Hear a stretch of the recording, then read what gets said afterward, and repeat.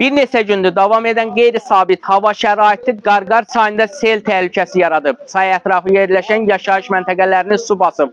Xüsusilə əkin sahələri və fərdi yaşayış evləri suyun altında qalıbdır. Yerli sakinlər isə çıxılmaz vəziyyətdə qalıbdır. Sel fərdi yaşayış evlərində təsərrüfatlara ciddi ziyan vurub.